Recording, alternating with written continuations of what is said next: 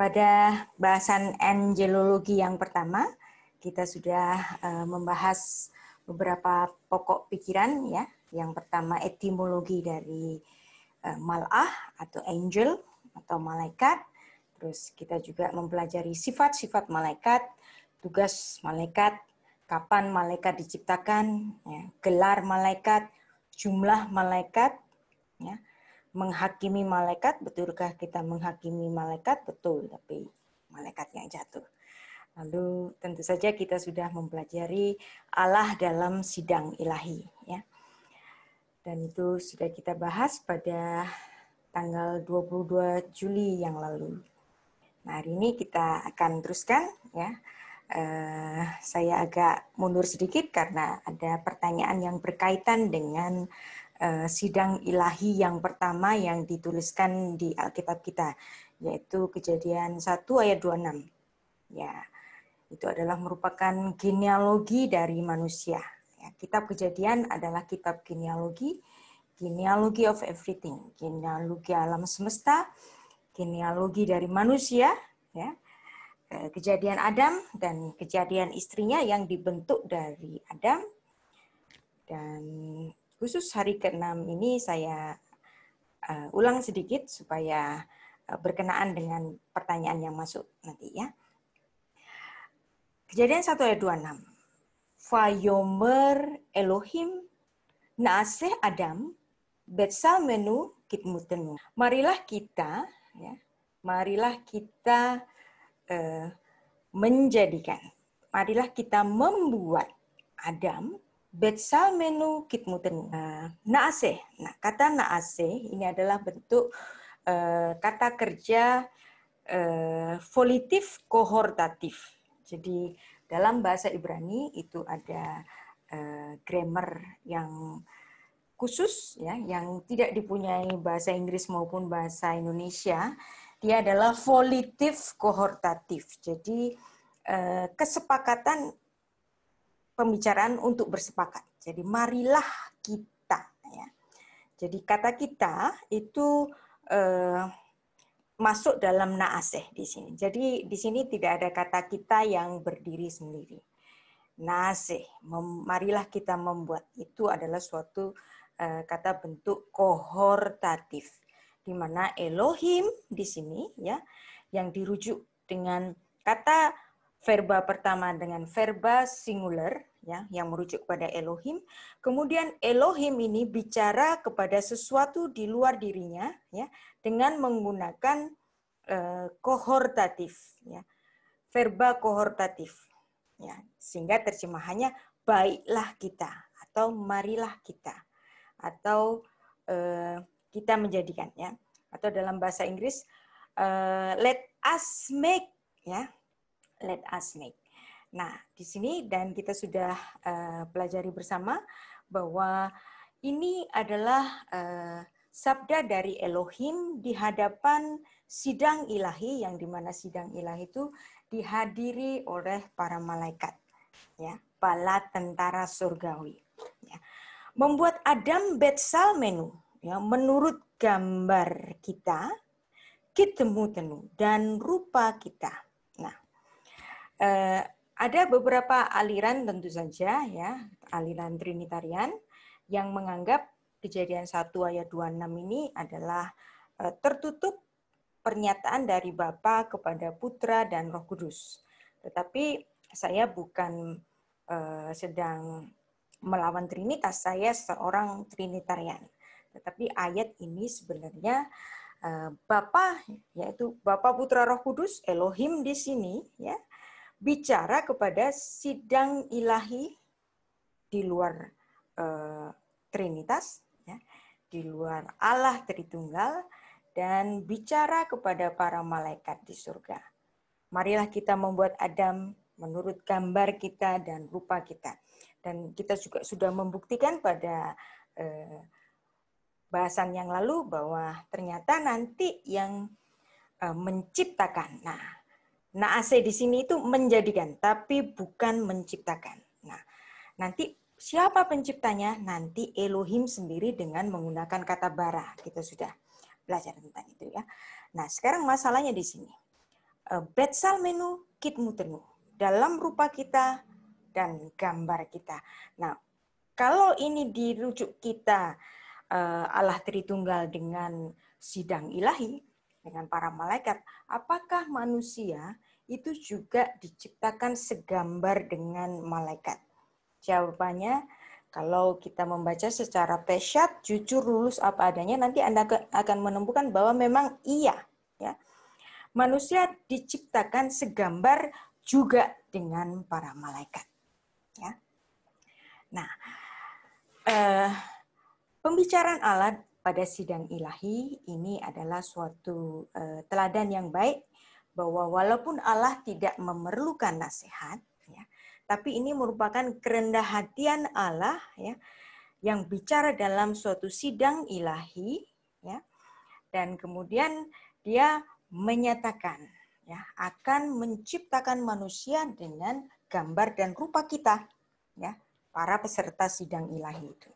Kalau Anda uh, sering melihat uh, film serial Tudor ya uh, Henry VIII itu mereka biasanya raja ini uh, duduk bersama dengan para uh, petinggi kerajaan dan uh, mereka duduk dalam meja bundar ya dan Henry VIII ini menyebut atau menyapa semua peserta dari sidangnya ini dengan my lord.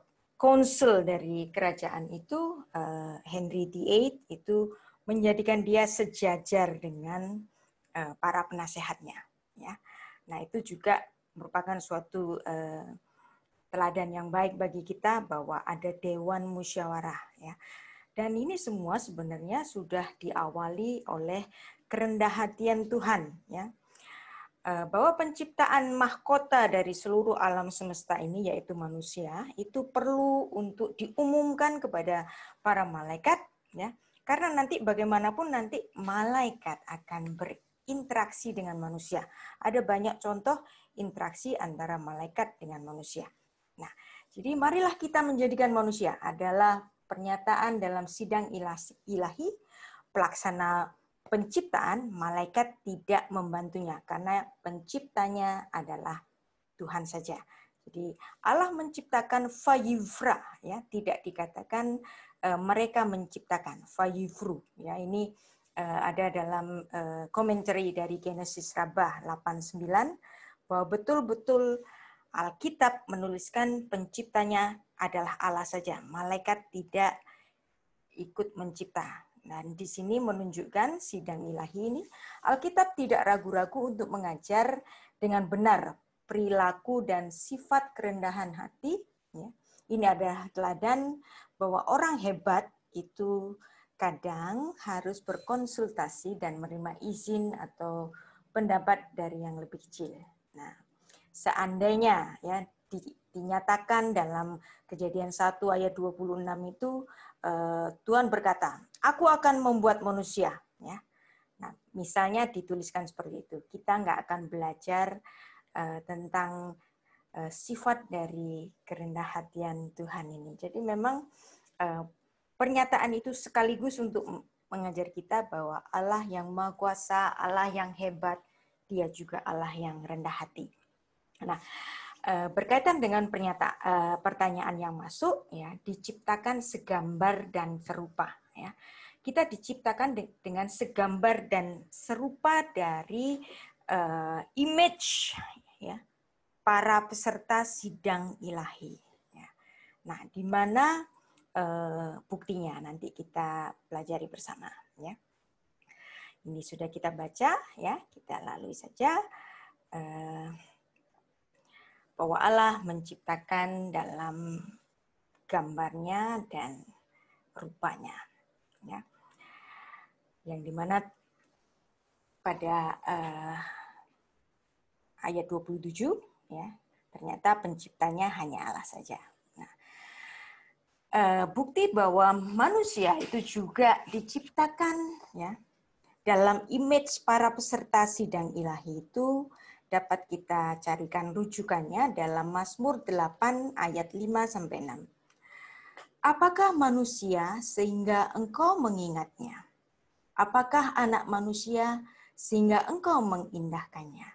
namun engkau membuatnya hampir sama seperti Allah. Seperti ya, me'at me Elohim. Nah, Elohim di sini ya oleh eh, LAI diterjemahkan dengan Allah dan telah memahkotainya dengan kemuliaan dan hormat. Ya. King James ya, menerjemahkan me'at me Elohim itu dengan a little lower than the angel. Jadi Elohim di sini oleh King James itu diartikan dengan angel. Ya. Nah, bagaimana terjemahan dari orang-orang Yahudi Mesianik, ya, Orthodox Jewish Bible? For thou has made him a little lower than Elohim. Ya, Elohim huruf kecil or Elohim. Ya. Elohim yang mana? Elohim yang menciptakan Adam itu dalam kejadian 1 ayat 27 yang menggunakan kata bara. Ya. Nah, terjemahan dari kalangan Yahudi Rabbinik itu menerjemahkannya dengan yet you have made him slightly less than the angel. Nah, di sini juga uh, kalangan Yahudi Rabbinik juga menerjemahkan me'at me Elohim Elohim dalam artian para peserta sidang ilahi. Nah, para sidang, peserta sidang ilahi itu adalah para malaikat dan Allah Tritunggal sendiri. Ya. Jadi Tuhan pastilah menciptakan para malaikat itu juga dalam gambar dan rupanya. Mengapa? Ya, karena nanti kita dapat eh, kita dapat membuktikannya bahwa malaikat juga memiliki kuasa. Ya. Malaikat juga memiliki pengetahuan. Ya. Nah, uh, jadi jelas sekali uh, terjemahan-terjemahan dari King James, dari Kabat, dari OJB, ya, itu juga sama, ya, dengan uh, terjemahan Septuaginta yang sudah diterjemahkan oleh para rabi tiga abad sebelum Yesus, ya, dalam bahasa Yunani, ya, yang di mana uh, Kata Elohim di sini itu diterjemahkan angelos, ya, angelos di sini. Ya. Jadi eh, kata Elohim itu sangat luas sekali, ya. Dia bisa berarti Allah, ya, Allah Tritunggal. Dia bisa berarti para malaikat. Nanti, ya, dia juga bisa berarti para hakim, yang di mana para hakim di dunia pun itu disebut Elohim Itulah sebabnya ada tatanan yang terjadi di dunia ini bahwa dalam sidang, suatu sidang, seorang hakim itu selalu disebut yang mulia. Mengapa? Karena Elohim dalam eh, dalam Alkitab itu juga dalam artian para hakim, di mana para hakim ini diberi wewenang untuk mewakili Allah sebagai hakim, sehingga para hakim disebut dengan uh, yang mulia. Jadi kita jelas di sini bahwa kata Elohim adalah artinya luas sekali tergantung konteksnya. Dan dalam konteks Mazmur 86 ini, Elohim itu dalam artian malaikat. Ya. Nah, ini juga nanti Anda bisa buktikan bahwa dalam uh, situs resmi dari Yahudi Rabbinik yaitu Kabat.org ya itu menerjemahkan uh, Elohim tadi dengan the angel. Nah, di sini ya ada tafsiran rasi di sini, rasi komentari itu juga uh, menyebut bahwa uh, memberikan pendapat bahwa Elohim di situ itu berarti the angel ya. Nah, jadi uh, Mazmur 86 Me'at Elohim hampir sama seperti Elohim. Hampir sama seperti Allah, Allah Tritunggal, juga hampir sama seperti malaikat. Ya, nah nanti kita buktikan lagi uh, pada sidang ilahi yang kedua. Sidang ilahi yang kedua itu uh, dituliskan lagi dalam Alkitab, ya. Ketika manusia itu jatuh dalam dosa, nah dalam penciptaannya, ya khusus Tuhan mengadakan sidang ilahi. Nah, ketika manusia itu jatuh dalam dosa, tentu ini juga menjadi concern dari uh, Bapa di surga dan para malaikat di surga bahwa manusia itu jatuh ya dan dia memakan buah pengetahuan. Nah, kejadian 3 ayat 22. Sesungguhnya manusia itu telah menjadi salah satu dari kita. Nah, kitanya ini siapa? Ya. Tahu tentang baik dan yang jahat. Nah, Tuhan tentu tahu baik dan jahat. Ya. Apakah para malaikat itu tahu tentang yang baik dan yang jahat? Apakah ada rujukannya di Alkitab kita? Nah, nanti kita cari ya. Bahwa para malaikat itu juga memiliki pengetahuan eh, baik dan jahat. Nah, Tuhan mengasihi manusia ya. Manusia telah jatuh di dalam jenggot dosa dan Tuhan tidak ingin dosa dari manusia itu menjadi uh, immortal ya seperti para malaikat yang jatuh, para malaikat itu adalah uh, makhluk immortal, maka ketika dia jatuh di dalam dosa, ya, para malaikat ini, ya, dosa dari para malaikat yang jatuh ini juga immortal, maka tidak ada penebusan bagi uh, kejatuhan malaikat yang jatuh.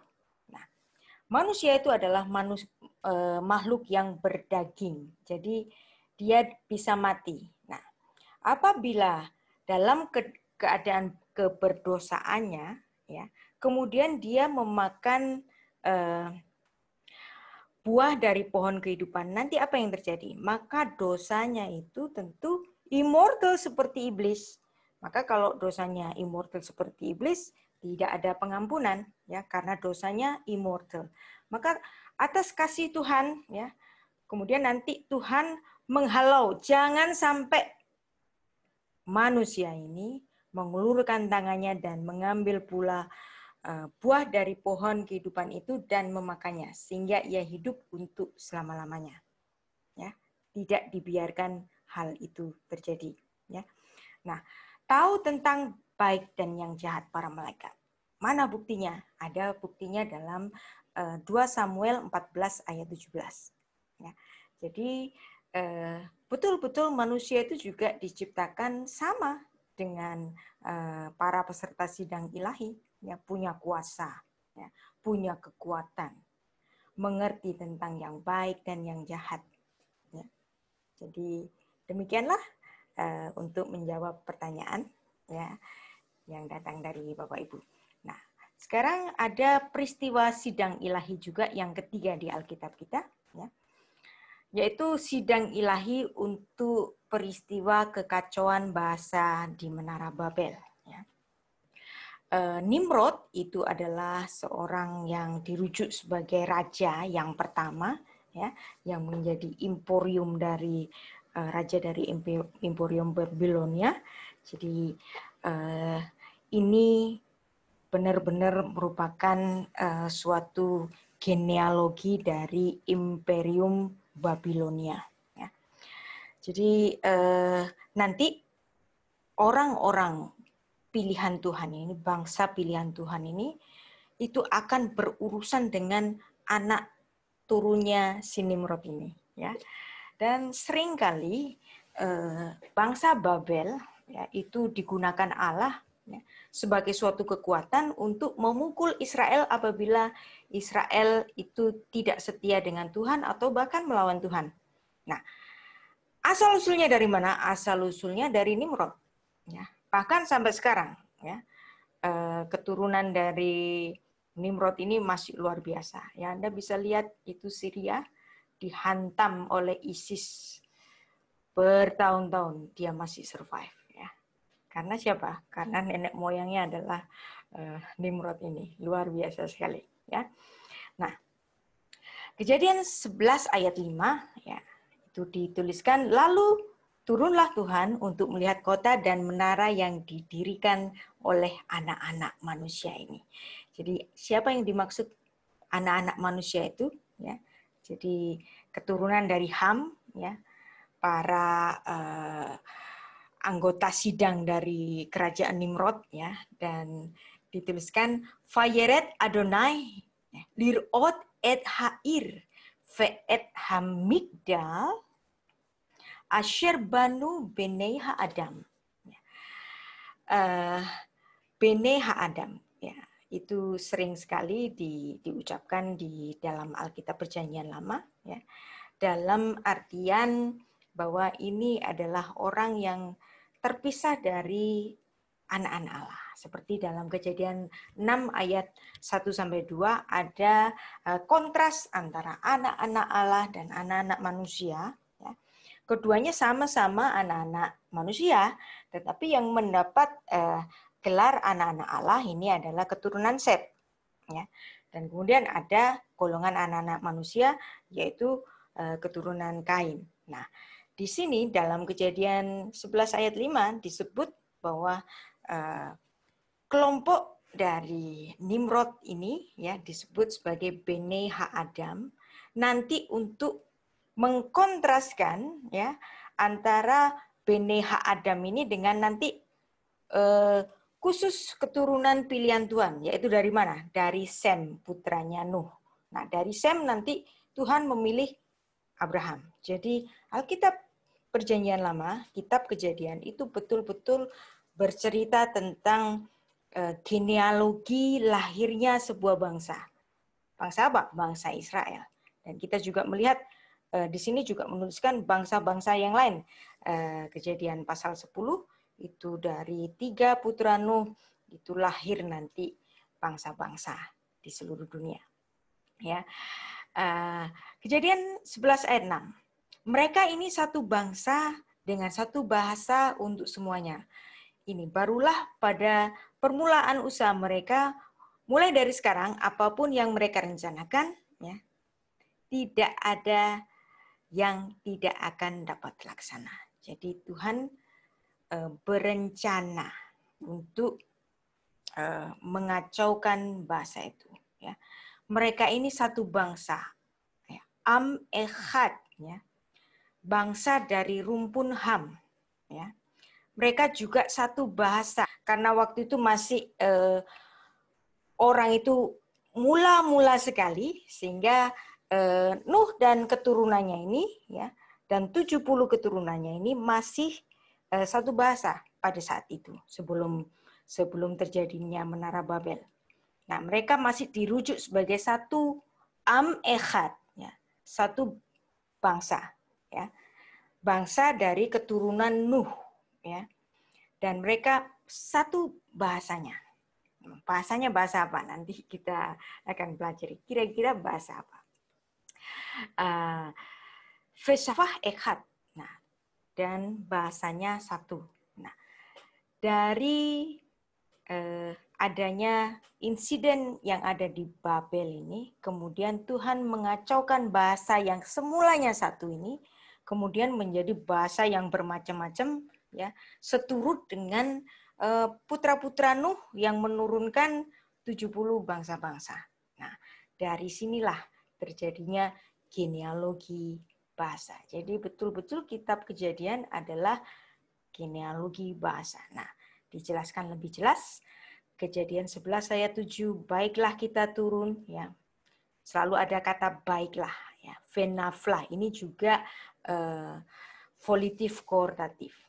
Nah, ini adalah pembicaraan dalam sidang irahi. Nah, kata ini ya let us let us let us ya. Nah, eh, kalau dalam bahasa Ibrani-nya itu hanya ditulis dalam satu kata saja. Ya. Venafla. Ya. Marilah kita mengacaukan. Ya. Marilah dan marilah kita mengacaukan. Satu kata dalam bahasa Ibrani, empat kata dalam bahasa Indonesia. Nah, bagaimana dengan uh, bahasa Inggrisnya? Let us ya confound ya atau let us uh, mengacaukan. Jadi tetap nggak bisa satu kata ya. Tapi dalam bahasa Ibrani-nya satu kata saja. Dan kata ini kalau Anda sudah belajar tentang verbal system, Anda tahu ini adalah satu kata yang diucapkan sebagai volitif kohortatif ya, untuk kesepakatan bersama. Jadi betul-betul Alkitab dapat membuktikan ada pembicaraan sidang ilahi ya di dalam Alkitab kita dan ini adalah bukti dari uh, penulisan sidang ilahi ya yang ketiga. Ya. Kemudian demikianlah mereka diserahkan Tuhan dari situ ke seluruh bumi dan mereka berhenti mendirikan kota itu. Kenapa? Karena kacau. Masing-masing nggak ngerti. Yang ono ngomong ini, yang ini ngomong itu, gitu ya. Nah dari situ uh, proyek besar ya, membangun menara Babel yang digunakan sedianya untuk uh, kebesaran nama dari uh, Nimrod ini Tuhan mengacaukannya. Ya. Nah, kejadian 11 ayat 9. Itulah sebabnya sampai sekarang nama kota itu disebut Babel. Nah, Babel itu dari kata uh, balal ya. Karena Tuhan telah mengacaukan ya. balal. Babel dari kata balal. Ya. Nah, jadi peristiwa Babel itu menjadi genealogi dari bahasa-bahasa yang ada di dunia ini. Jadi nanti ya bahasa-bahasa di dunia itu eh, satu atau satu bagian atau beberapa bagian banyak yang nanti itu terhubung dengan eh, bahasa Ibrani ya.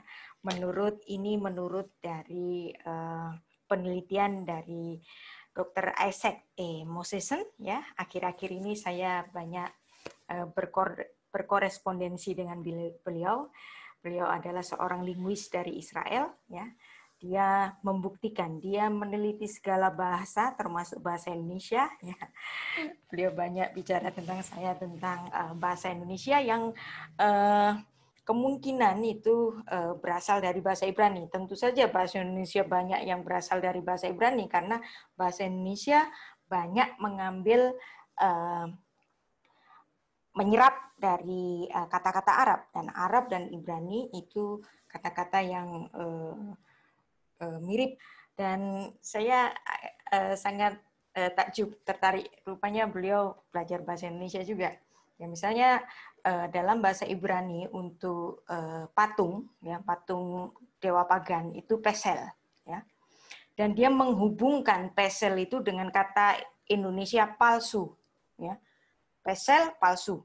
Nah, dia e, mencoba menghubungkan bahwa sebenarnya seluruh bahasa-bahasa bangsa-bangsa di dunia ini itu bersumber dari peristiwa di Babel yang di mana origin dari bahasa yang ada di dunia ini berasal dari bahasa Ibrani dan ini ada dalam penelitian beliau.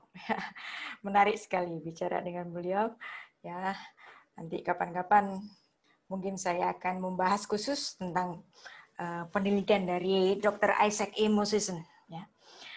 Nah, dalam kejadian pasal 11 ini ada wordplay antara Venaflah dengan yang berasal dari Sores Balal dan kaitannya dengan nama Babel mengapa kerajaan itu disebut dengan Babel.